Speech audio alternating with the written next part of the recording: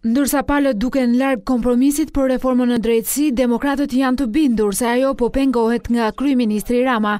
Kreu i grupit të PD-së, Edi Paloka, thotë gjatë një interviste për Report TV se është pikërisht kryeministri ai që nuk e do këtë reformë pasi i trembet një drejtësie që nuk e ka nën kontroll. Rama donte një drejtësi apo një reformë, të ashtuquajtur reformë, që ta vinte drejtësinë nën thundrën e tij, meqenëse Komisioni i Venecias nuk e lejoi, tashi i duhet thjesht të luajë rolin e atij që po përpiqet, por që po e pengojnë. Po vazhdojnë me variantin që t'i shohin një herë pikat specialistët.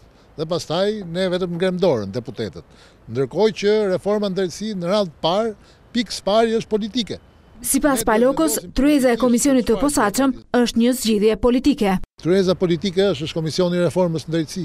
Ne kërkojmë të ketë dialog politik, çështja të vendoset politikisht se ku duam të shkojmë me këtë reformë.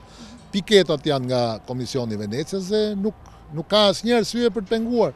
Përveç asaj që thashë, që Rama sot jo vetëm nuk e do më këtë reformë, po kam bindjen që edhe i trembet një drejtësie të pavarur nga ai. Ndërsa, përsa i përket qëndrimit të LSI-së, që është i njëjtë me atë të PD-së, kreu i grupit të Partisë Demokratike thotë se kjo lidhet pikërisht me ato që kërkon Venecia për këtë çështje. Nuk është në të njëjtën linjë me ne, është me linjën e Komisionit të Venecias dhe me logjikën normale, që duhet të ketë dialog politik dhe duhet të ketë konsensus. Një ditë më parë, kreu i Kuvendit Ilir Meta tha se kjo reformë duhet realizuar pikërisht sipas rekomandimeve të Venecias dhe se për finalizimin e saj nuk përjashtoi edhe një tryezë politike.